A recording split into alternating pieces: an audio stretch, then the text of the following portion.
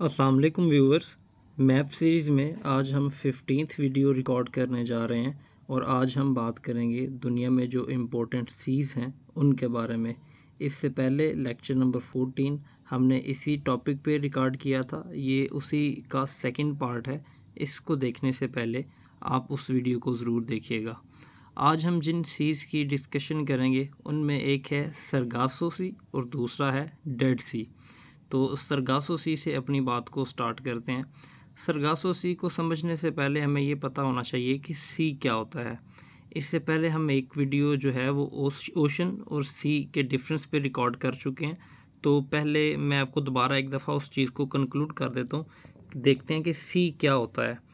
सी जो है ये बेसिकली पार्ट होता है ओशन का। देखें ये पाकिस्तान है, ये पाकिस्तान के साथ जो एक साइड पे लगता है अरेबियन सी, ये वाला पोर्शन जो है, ठीक है?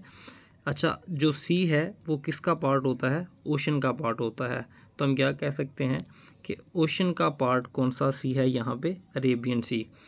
अब हम अपने समझने के लिए ये कह सकते हैं कि ओशन का वो वाला हिस्सा जो लैंड के करीब हो, उसको सी कहते हैं। या और अगर इसको मज़ीद आसान करें तो हम ये कह सकते हैं कि सी के करीब लैंड होनी चाहिए, ठीक है? मैं इस बात को दोबारा रिपीट कर रहा हूँ कि सी के करीब लैंड होनी चाहिए, ठीक है? यहाँ पे भी आपको देख लें अरेबियन सी की एग्जांपल देखने को मिलेगी। यहाँ पे ये रेड सी के देखने की एग्जांपल मिलेगी। देखें सी है, पास लैंड है। अगर और देखें, यहाँ पे देखें मेडिटेरेनियन सी लिखा हुआ है, इसके पास लैंड है। ब्लैक सी है, इसके पास लैंड है, ठीक है? मतलब ये सी की पहचान है कि उसके पास लैंड होगा। अब ये देखिएगा, आज हम जिस सी की बात करने लगे हैं, सरगासो सी। वो नॉर्थ अटलांटिक ओशन के रीजन में है, तकरीबन इस जगह पे करके है, ठीक है? यहाँ पे करके तकरीबन। ये एक ऐसे एरिया को सरगासो सी कहते हैं, जो किसी भी लैंड के साथ अपनी बाउंड्री को शेयर नहीं करता। ये एक इम्पोर्टेंट एम सी क्यूज़ भी है। कि ऐसा कौन सा सी है, जिसके पास लैंड नहीं है तो वो सरगासो सी है। तो देखते हैं कि इसके पास लैंड भी नहीं, लेकिन इसको सी का नाम दिया हुआ है। तो क्यों इसको सी का नाम दिया हुआ है? इस बात को समझने के लिए हम एक एग्ज़ाम्पल देखते हैं। ये वाली डायग्राम देखिएगा। यहाँ पे देखिए लिखा हुआ है सरगासो सी ठीक है? ये वही नॉर्थ अटलांटिक ओशन वाला रीजन है, ठीक है? अब इस एरिया को सरगासो सी किस वजह से कहा जाता है? इसको सरगासो सी इस वजह से कहा जाता है।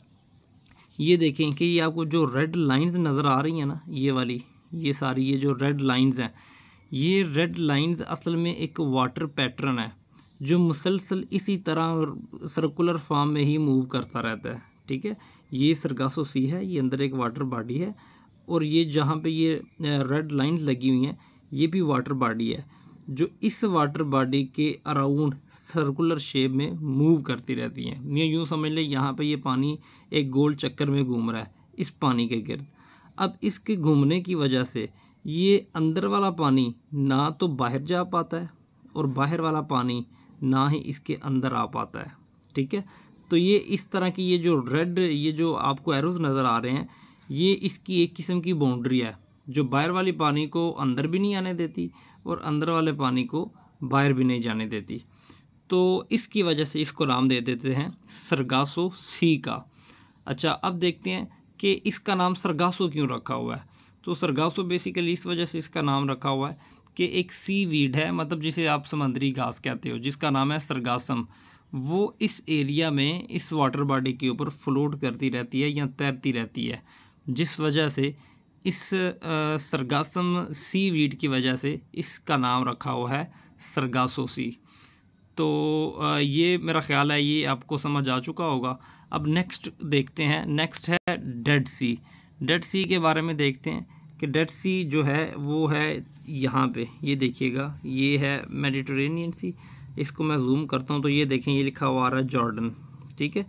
ये जो डेड सी है, ये जॉर्डन और वेस्ट बैंक मतलब जो फ़लस्तीन का जो एरिया है वेस्ट बैंक इनके दरमियान है। ये देखें, ये लिखा हुआ है डेड सी ये किसके दरमियान है? जॉर्डन के दरमियान और फ़लस्तीन वाली साइड पे जो वेस्ट बैंक है उसके दरमियान है।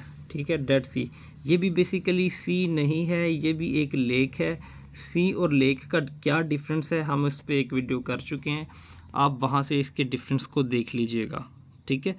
तो आ, हम क्या कह सकते हैं कि जो डेड सी है वो जॉर्डन और वेस्ट बैंक के दरमियान है और इसकी स्पेशलिटी ये है कि यहाँ पे कोई भी एक्वाटिक लाइफ जो है वो पॉसिबल नहीं है। मतलब कोई भी आबी ज़िंदगी यहाँ पर मुमकिन नहीं है और ये जो वाटर बॉडी है, ये साल्टी है।